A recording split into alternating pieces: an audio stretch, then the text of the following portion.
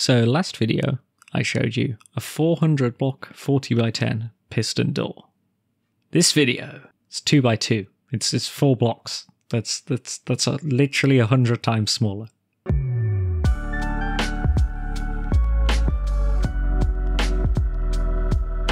Okay, so this one is a glass door and it's seamless and it's quick and easy to build. Probably, maybe, maybe not. I don't know. We press this button. And there you go. Glass folds away. It's actually kind of quick enough now that the limiting factor is the button and how long the button takes to press because it sort of goes off one way when the button is pressed and then another way when the button turns off. So we have to wait for the button to turn off for it to finish. Originally, you could only use a wooden button because the stone button would turn off too quick and it would break, but now I've got it fast enough that the stone button works fine. So I guess we'll go to the other side and we'll see what it looks like. So this is the redstone, it's two blocks wide. I was originally trying to make it one block wide, but I just found it too much of a pain. Uh, this redstone is just the input, so it doesn't actually stick out on that side, so it's pretty compact. I mean, obviously it dwarfs a regular 2x2 door, but that's not the point, is it? So I'll try and find a block I can actually use to activate it here. So it looks like we can use any of these floor ones.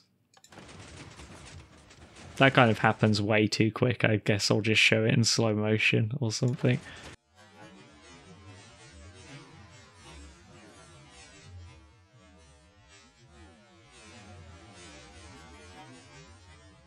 Yeah, I mean, I guess I'll remove the glass and things, but the, that's the gist of it. So there's weird things like this bit specifically, a target block, because that makes the redstone aim at the block. Whereas if it was a regular block, then the redstone aims at the piston and sets it off, which is wrong and breaks it. This redstone, it gets sell off here and then sell off by this repeater when it got set off by the repeater the second time, it'll trigger the observer again because the redstone would change signal strength. So I had this annoying thing where the observer got triggered twice. It's it really is a mess of redstone. Like there's literally a piston here that is because this piston needs to be updated like a tick later. I don't know if that's still the case now I've changed it a bit, but yeah, I literally had to add a piston to push underneath just to update this piston to go off after this one had pulled in. So it's a bunch of weird stuff like that. So it's literally just a couple of double extenders on each side that push the glass in. So we just move these blocks out the way and then push the glass to the middle with double extenders and then you put the blocks back. That's how the entire door works. So that's why it can be pretty quick is because it's only doing a very simple thing. Move blocks out way, glass comes out, and then put the blocks back. So it's pretty simple, pretty easy, and I'll show you how to build it now. Okay, so you're going to need a 10 by 2 area, and then your floor is three blocks up. So we go one, two, three, and there's our floor, and then it's just the middle two blocks at the front that we're going to walk into. And then for our pistons, we have two diagonally down at each side, aiming upwards. Then on the edge, one block above these, we have double extenders. We have two of those, one on top of the other, and then finally a piston above that. Same on the other side, and piston on top. Now one block above these and directly above the bottom ones, we have pistons aiming downwards on each side. Okay, so firstly for these top and bottom pistons, we're going to put a block behind and to the right of this piston on the left, and we put a torch on it. Then coming out the side, we do a block with a repeater on it, aiming at the other piston.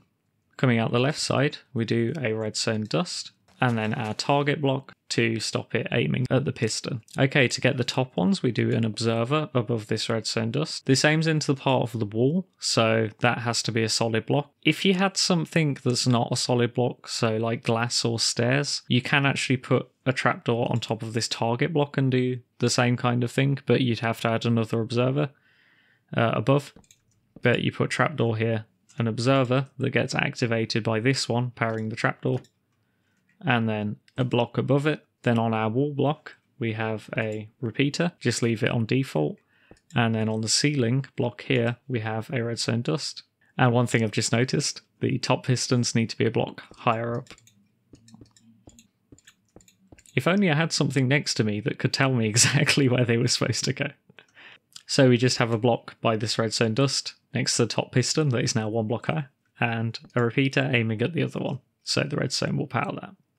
So now if we power all this, we should see all of those get set off and put the blocks in place and out of place. And this block is our input block, by the way. So for the double extenders, things get a bit funky. So the first thing is we've just got an observer aiming downwards onto the top.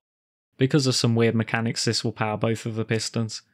And then same on the other side, observer aiming downwards, so it should look like that from the top, into the bottom two pistons. So coming out on this side, we just have three blocks. We have redstone dust on this one, a repeater on default on this one, and then repeater on three ticks on the next one. Then this aims into a block with a torch on it. It turns out, right, I've done the double extenders one block too low as well. So sorry for this inconvenience, but you're going to have to move the double extender thing one block upwards. I would just redo the tutorial, but I've already done this once, so... yep, just move them one block up, please. And then block above that, torch, and then we put a torch on this block. You'll want to move that piston back in place. And then a block on top of that with a redstone dust. And because I hate myself, the way you get the power to go up is you do an observer above this repeater, going into the wall, and then we have a sticky piston with a block on it with two pieces of sand on top of it. And then at the top, we do a furnace or anything that will activate a comparator. We have a block coming out of that with a comparator. So to activate this comparator, I just put items in the furnace. So just get some items that aren't worth anything and put a stack of them in there. And that'll activate the comparator. And as is tradition, this is supposed to be one block higher.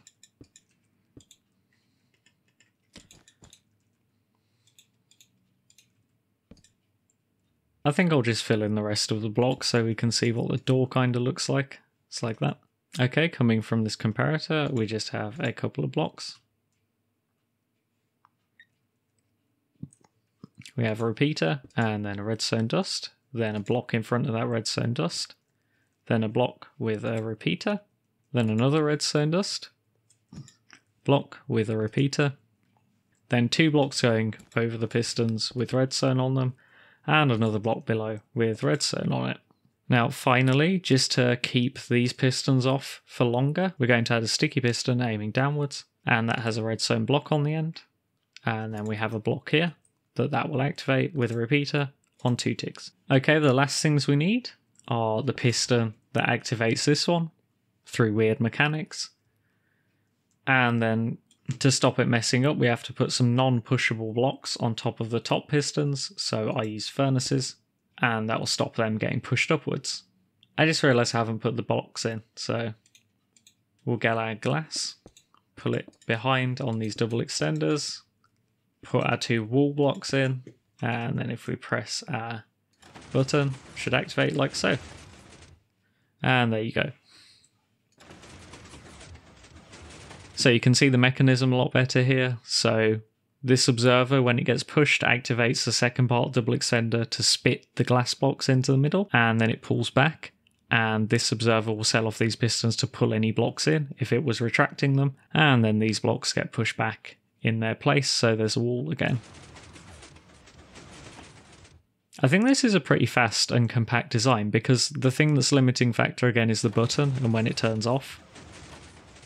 So I guess I could try and reduce delays in places. You could probably make it faster by making it a bit bigger so you don't have to add repeaters everywhere to go around things. You could just run redstone and make it instant.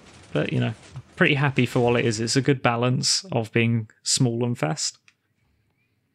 And I hope you enjoy using it in your world. So I've been Idendied, and I'll catch you in the next one.